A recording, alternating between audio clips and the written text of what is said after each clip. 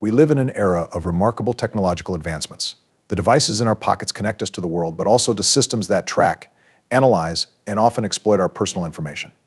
Today, we delve into the history and implications of this reality. You know, Barack, it's like the military, right? They track everything movements, locations. It's impressive tech. Really doing a great job out there. Yeah, and speaking of tracking, Donald, I bet they would have had a hard time tracking you during the draft, huh? Indeed, Joe. But let's step back and look at the broader picture. Privacy isn't just a personal concern, it's a fundamental human right recognized and declared by the United Nations. It ensures our freedom of expression, protects against unjust discrimination, and safeguards our dignity. Sounds a bit dramatic, Obama. But all right, I'll bite. People do like their secrets, keeps things interesting. So let's take a closer look at how privacy rights have emerged, been challenged, and transformed over the years. From wartime measures to the digital age's data rush, Understanding this evolution will help us navigate the complexities of privacy in today's world and prepare for what's coming next. As we move deeper into our discussion, let's begin by examining Project Shamrock, one of the earliest large-scale surveillance programs. Initiated in the 1940s, it allowed the U.S. government to intercept all telegraphic data entering or exiting the United States. This was privacy's first major compromise in the name of national security. Big moves, Obama catching bad guys, reading all those telegrams like something out of a spy movie? Sure, Donald, but it wasn't all about catching bad guys. It set a precedent. Things got out of hand with COINTELPRO, where surveillance was used against political activists right here at home, often without justification. Exactly, Joe. COINTELPRO, or the Counterintelligence Program, was an FBI initiative aimed at surveilling, infiltrating, discrediting, and disrupting domestic political organizations. The lack of oversight and unchecked power highlighted the dangers of such surveillance. Look, they were after some bad hombres, some real troublemakers. Sometimes you have to push the envelope to keep America safe. You can't make an omelet without breaking a few eggs, right? I agree with your sentiment, Donald. In fact, COINTELPRO was used to keep tabs on the Ku Klux Klan back then. But it was also used to monitor civil rights leaders like Martin Luther King Jr., along with environmentalists and women's rights activists. I mean, what can you do? With you and Sleepy Joe in charge, we're just waiting to be hit again. Look at 9 11. Sometimes the ends justify the means. We need to be tough to stop the bad guys before they can do real harm. True, Donald. The tragic events of September 11th significantly transformed global security policies, including here in the U.S. It led to the enactment of the USA Patriot Act, Act and modifications to the Foreign Intelligence Surveillance Act, or FISA, which expanded the scope of lawful surveillance. It was a tough time. We needed to protect the nation, but also face the challenge of preserving our civil liberties. Amidst these expanded powers, Edward Snowden's revelations in 2013 shook the world he exposed the extent of global surveillance programs, including PRISM, which forced major U.S. tech companies to offer up their data. Snowden, huh? If he could reveal Obama's birth records, I might become a major fan. But seriously, he showed us just how deep the rabbit hole goes. Let's focus on one particular system Edward Snowden disclosed XKeyscore. It's described as one of the most powerful tools of mass surveillance. Imagine a search engine so powerful that it could access every email, every text, every phone call, and track any individual's location globally. That's terrifying to think about. And it's not just XKeyscore. Programs like Bullrun, which develop new algorithms to decrypt encrypted data, and Muscular, which intercepted data between tech giants like Google and Yahoo, represent the breadth of surveillance capabilities. And let's not forget LOVEINT, folks. That's where NSA employees use these surveillance tools to spy on their crushes. Talk about perks of the job.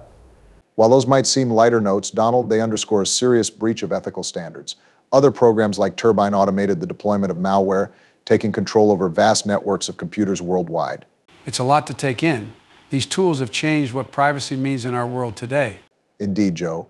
And as we continue, we'll explore how the commercialization of data collection and the rise of artificial intelligence could further complicate our privacy rights. As we transition from the roots of governmental surveillance, let's explore how privacy concerns have expanded into the commercial realm. The modern online economy thrives on a fundamental concept targeted advertising. This method fundamentally challenges our notion of privacy. You know, it's all about the art of the deal, Obama.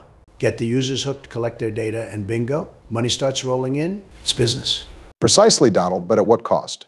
Google pioneered what's commonly referred to as the advertising model. First, attract as many users as possible without immediate concern for profitability. And then they collect heaps of data on every one of those users. I mean, everything from what you're searching for to the videos you watch. That's step two, Joe. With this vast amount of data, they move to step three. Monetize it by displaying ads specifically targeted to users' demographics and interests. And then step four, profit. It's brilliant, really. But remember the old saying if you aren't paying for the product, you are the product. This model doesn't just sell ads, it sells user privacy. And it's not just Google. Look at Amazon. They've filed patents that let Alexa send background audio to the cloud, even when no one's actively using it. That's a whole new level of invasion. You mean they listen to everything? You mean everything? I need to make a call. And here's where it connects back to surveillance. Programs like PRISM piggyback on the data collection efforts of these tech giants. Since companies are already incentivized to gather as much data as possible to sell ads, surveillance agencies find a treasure trove ready and waiting. It's like they don't even have to do the dirty work anymore. The tech companies collect all the intel, and the government just taps into it. Exactly. And consider this we've all had the uncanny experience of browsing through certain products, and suddenly we start to see ads for that exact thing, even on different devices. It's like they're reading our minds, or at least our emails. I know Hillary wouldn't be happy about that. There's also real time bidding, a process where ad impressions are sold in a lightning fast auction the moment you visit a web page. Your data is being traded in real time, optimizing the ads you see based on your immediate and past behaviors. It's all happening so fast, Barack. How do people keep up? How do they keep anything private? That's the challenge, Joe. As we move into discussions about the future impact of AI on privacy, we'll see just how these technologies might evolve to further challenge our privacy rights. As we continue our exploration of AI and privacy, it's critical to understand both the transformative potential of this technology and the threats it poses. Recent research from Carnegie Mellon University highlighted these capabilities. The researchers were able to see through walls using Wi Fi signals to track human movements, underscoring the power of AI to penetrate our private lives without our knowledge. It's like something out of a superhero movie, Obama, but who keeps the superheroes in check? That's a good question, Donald. It's all about balance. In China, they've started using what they call social scoring. This system can dock money straight from your account. If AI driven traffic cameras catch you jaywalking, it's surveillance taken to another level. Precisely, Joe. This type of system raises significant ethical and privacy concerns. But there are frameworks emerging to manage these risks. The European Union, for example, has been proactive with the General Data Protection Regulation, or GDPR, and is now introducing the EU AI Act.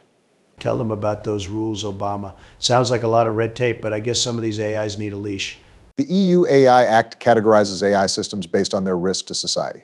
From unacceptable risk, where certain applications are outright banned, to limited risk, where systems must be transparent about being AI. This approach aims to safeguard fundamental rights while still fostering innovation. And it's not just Europe.